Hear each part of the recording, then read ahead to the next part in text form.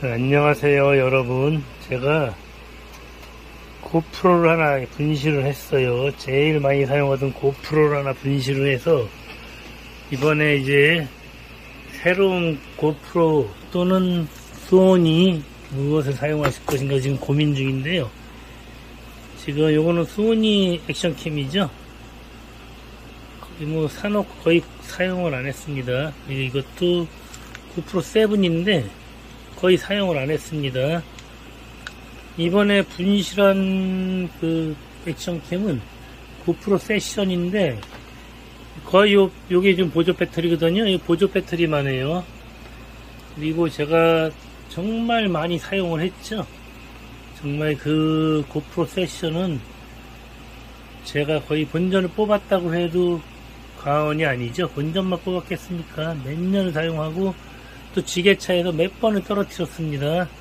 그래서 멀쩡했었는데 지게차에다가 잠깐 놔두고 한 10분 정도 비었었거든요. 지게차 문을 열, 열어놓은 차, 채로 제가 사무실에 잠깐 왔다가 가보니까 글쎄 없어진 겁니다. 고프로 세션이 없어졌어요. 액션캠이 하나 없어져갖고 그게 또 쓸 만큼 썼지만 없으니까 또 불편합니다. 그래서 지금 그 전에 사놓고 쓰지 않던 고프로 7이거든요. 이번에 고프로 7을 주력으로 한번 사용해 볼까 합니다. 이게 굉장히 편해요. 고프로 7 요거 위에 버튼 한 번만 눌러주면은 바로 녹화가 시작되죠. 요거 이제 잠시 후에 나가서 테스트 한번 해보도록 하겠습니다. 그리고 이것은 이제 소니 액션 캠인데 이것도 지금 거의 사용을 안 하고 있어요. 만약에 이제 이거마저 분실되거나 망가지면 그때 사용해야 되겠죠. 이거는 다 알다시피 고프로 360도 카메라죠.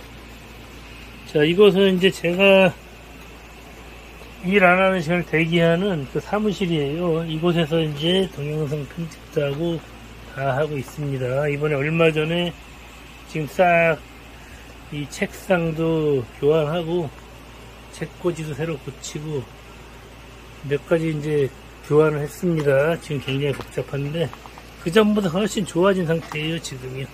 일단 책상이 넓어지니까 굉장히 편리합니다. 삶의 만족도를 주네요. 자 그러면은 이제 고프로 7을 가지고 나가서 이제 주행 테스트를 한번 해보도록 하겠습니다.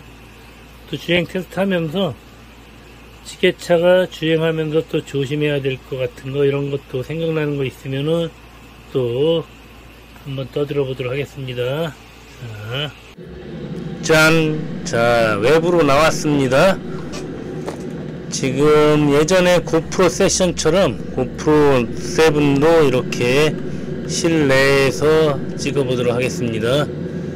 화질은 훨씬 향상이 됐죠? 예전 그 카메라보다는 이게 조금 더 최신작이죠. 물론 지금은 고프로 11까지 나와 있고 고프로 12까지 곧 나올 거예요. 굉장히 많은 발전을 했는데 제가 만약 고프로 7세대면은 지금 11세대까지 나와 있는 상태죠. 엄청난 발전을 했을 겁니다.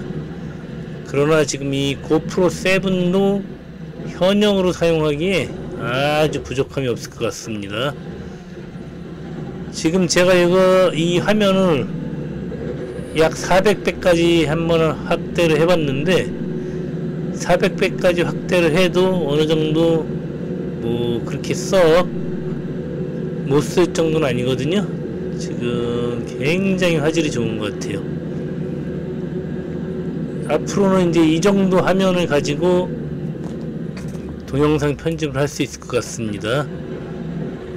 지금 예전에 그 제가 사용하던 고프로 세션은 제가 지금 너무 막 다루은 거, 다루었던 것 같아요.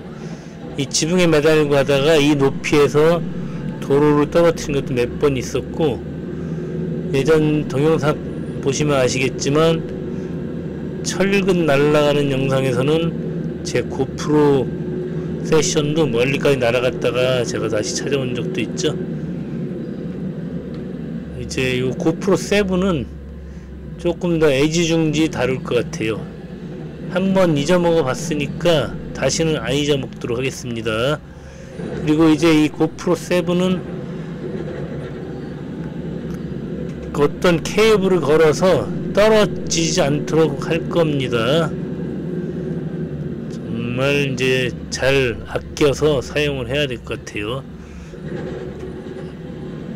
새로운 그 기기에 적응한다는 게 굉장히 낯설거든요. 그 전에 그 고프로 세션은 주머니에 쏙 들어가는 아주 작은 크기였는데 현재 고프로 7 같은 경우 제가 보조 배터리까지 장착을 하고 있어서 더 불편한 것 같아요. 부피가 있어갖고. 그러나 이제 고프로 세션을 제가 중고로라도 구입을 해보려고 했는데 지금 단종이 된 상태라서 구할 수가 없네요. 그렇게 많이 팔리지 않은 제품 같아요. 거의 중고도 구할 수가 없습니다. 저는 뭐 중고를 구할 수 있으면 언제든지 다시 고프로 세션으로 돌아가고 싶어요. 이 부피가 이 반 정도밖에 안 되기 때문에 현재 제 고프로 7 에 보조 배터리 장착한 거 장착한 것의 반 정도밖에 되지 않기 때문에 또 배터리도 시간이 오래 가더라고요. 어떤 기술력인지 모르겠지만 제가 고프로 7을 일단은 사용을 해보고 이게 많이 불편하다 싶으면은 지금 이제 인스타 고라 고 5인가 해서 새로 나온 게 있어요. 인스타 고라고 굉장히 조그맣더라고요. 제가 동영상에서 많이 접해봤고 실제로 접해보진 못했는데 그게 지금 눈에 들어오고 있거든요. 인스타로 넘어갈지 아니면 계속 이 고프로 7 갖고 또 한 몇 년 또 동영상 잘 뽑아 먹을 수 있을지 모르겠습니다. 어쨌든 고민 중에 있어요. 이 정도면은 정말 좋죠. 화질도 좋고 화각도 좋고 물론 이날은 엄청 더운 날이에요. 막 외부 온도 35도까지 올라가는 날이었거든요. 굉장히 덥습니다. 그 날이 좋으니까 날씨가 좋으면은 일단 그 카메라 액션 캠뿐이 아니라 모든 카메라는 그렇죠 밝아야 잘 나오는 거예요 그러다 보니까 밝은 렌즈가 비싸죠 자 이 캠 그리고 카메라는 빛의 영향을 많이 받습니다 뭐 제가 많이는 몰라도 저도 예전에 그 SLR 클럽이라고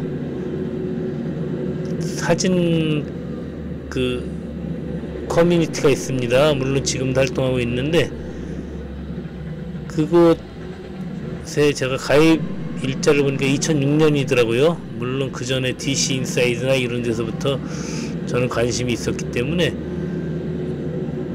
그 사진에 대해서 전문가처럼 많이 모르지만 조금 알, 알고 있어요. 그러다 보니까 이제 빛이 얼마나 중요하다는 걸 알 수 있죠. 자, 이렇게 날씨가 좋은 날은 일단 잘 나옵니다. 앞으로 이제 새벽 또는 야간에 작업을 했을 때 또 만족할 만한 동영상이 나와주냐 안 나와주냐 그것도 이제 문제겠죠. 어쨌든 일단 고프로 세션의 시대는 가고 고프로 7의 시대가 왔습니다. 아 지금 주행하러 나왔는데 일 전화가 들어오네요. 물론 신호대기 할 때 전화가 딱 와서 아주 다행입니다. 자, 다시 지금 이제 주행했던 곳 그쪽 방향으로 다시 가야 되기 때문에 지게차를 회전할 겁니다. 주행 테스트 나왔다가 또 일도 하게 되네요. 자, 다시 가고 있습니다. 열심히 달려보도록 하겠습니다.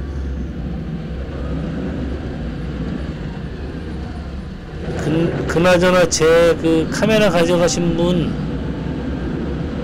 그 SD 카드 안에 뭔가 찍혔는지 모르겠습니다. 그것 좀 돌려주세요. 영상 좀. 제가 쓰, 쓰기 위해서 찍어놓은 영상도 들어있을 텐데 그 카메라를 그렇게 딸랑 들고 가시는지 모르겠습니다.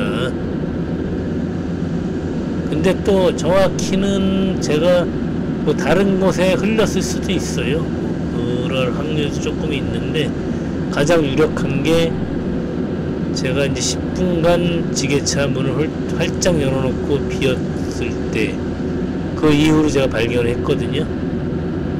그러니 뭐 분실한 게 확실하죠. 자 이제는 애지중지 고프로 7 갖고 동영상 작업을 하도록 하겠습니다. 나- 더운 날씨에 건강 조심하시고요. 언제든지 안전운전 하세요. 감사합니다.